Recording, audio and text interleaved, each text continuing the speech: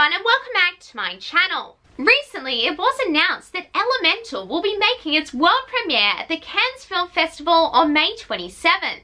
This is the fourth Pixar film to be screened in the official selection, following Up, Inside Out and Soul. To celebrate, director Peter Sohn drew a picture of Ember and Wade sitting on the beach in deck chairs on the French Riviera, and Ember has caused the beach umbrella to catch on fire. Them are wearing sunglasses and formal clothing, with Ember in a cute white dress and Wade in a tux. They are also sipping on some cute cocktails. I am excited to hear what the reaction is to this film in May, and I will keep you updated in future videos. Also, I just want to quickly add that Pixar has released a new still from the film featuring Wade's mother Brooke talking to Ember and Wade in her home. We get a better look at Brooke's dress here. It is a cream colour with stripes with a purple belt and neck decorations. Anyway, that is all for today. Like this video if you liked it and please subscribe. It would mean so much to me. Bye now and have a magical day. Disney and Pixar's Elemental.